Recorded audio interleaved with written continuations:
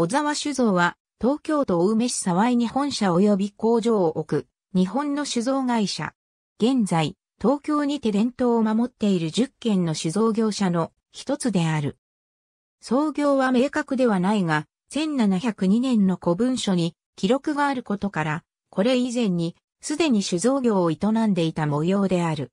1966年、酒蔵の見学を始める。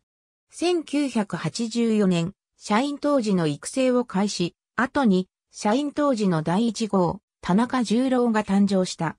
1992年、小沢純一郎、22代目当主を継承、沢の井ブランドの日本酒を醸造販売する、老舗酒造メーカーである。現在地の沢井は、その昔、沢井村と呼ばれており、その地名にちなんで命名された。沢井とは、豊かな名水が沢となって流れるところから付けられた地名。1967年、見学者用の施設として、沢の園を開設し、観光酒造としての第一歩踏み出す。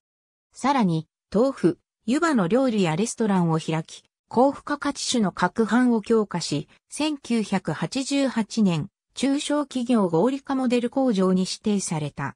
沢野井金賞受賞2018年、2019年、2020年、2021年。ありがとうございます。